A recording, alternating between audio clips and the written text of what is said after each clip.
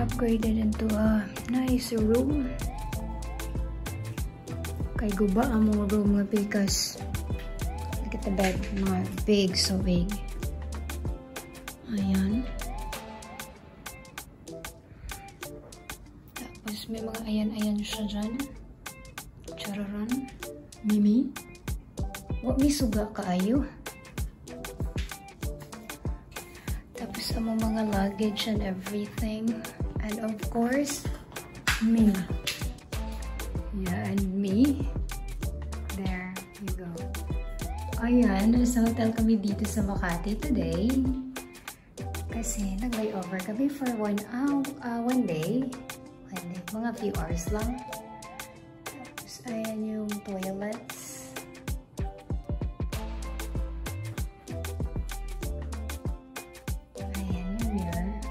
Yung mirror nila, pwede mo siyang ganun din. Ayan, makikita mo na ako agay. Ayan na si Gisela. Ayan. Their babies. Okay. Yung Ramada. So, ayan lang naman siya. Ayan, shower na siya. Ayan.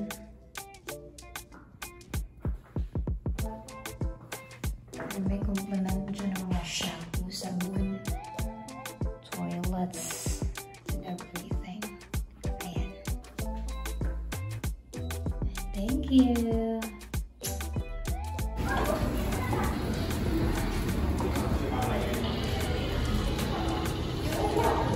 The Filipino breakfast. What is that?